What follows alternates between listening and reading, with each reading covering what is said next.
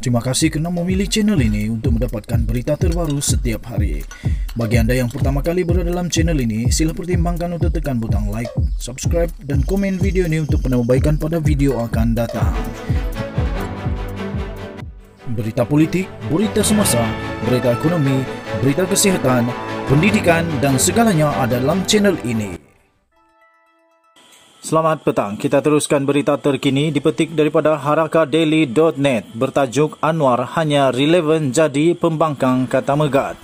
Ketua Armada Cawangan Sirusa Megat Muhammad Faris menyatakan serta menyifatkan bahawa kenyataan Ketua Pembangkang iaitu Datuk Seri Anwar Ibrahim yang menyatakan masalah kemiskinan tidak akan dapat diselesaikan dengan hanya memberi bantuan makanan dilihat jelek di mata anak muda.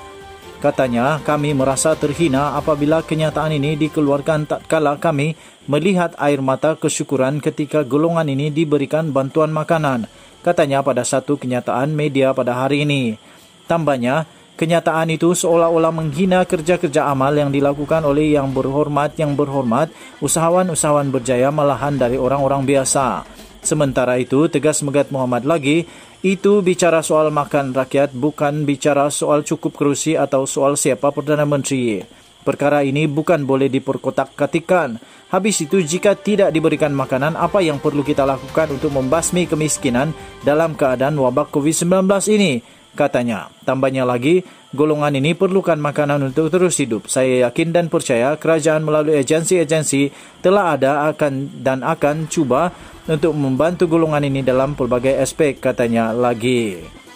Katanya lagi, kami lihat saudara Anwar Ibrahim mempunyai pelbagai idea untuk membantu, tapi kami di Port Dixon ingin tahu pelan pembangunan yang dilihat hanyalah samar dari menang pilihan raya kecil sehingga kini. Tambahnya, saya yakin dan percaya harapan kami dulu melihat kemenangan Anwar Ibrahim di Port Dixon pasti membawa satu sinar yang baik untuk rakyat PD. Tapi sayang kami masih menanti sinar itu, ujarnya kecewa. Sekian berita, kita bertemu lagi. Selamat petang Malaysia. Bye-bye.